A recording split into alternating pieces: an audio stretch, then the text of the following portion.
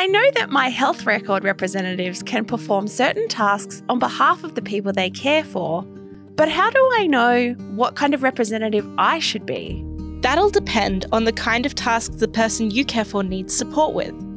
It's important to discuss this with them so that you can work out the best option together. It's a good idea to become a nominated representative if the person you support only needs some assistance.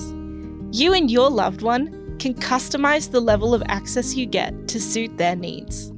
This might look like helping to manage their My Health record by uploading documents, or you might just need viewing access to see what's on their record so you can better support them at their next medical appointment. What if the person I care for isn't able to make their own decisions about matters like my health record? Well, in that case, it might be best to become an authorised representative. An authorised representative is responsible for managing the My Health record of someone who is not able to make their own decisions.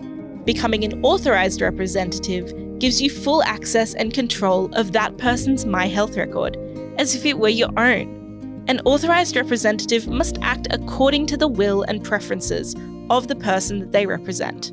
It's a more in depth process to become an authorised representative than a nominated representative. To become an authorised representative, you need to file an application and provide 100 points of ID. Okay, do you know where I can find out how to apply to become an authorised representative? Yeah, you can find out about the application process on the Carers Australia website by going to the My Health Record page.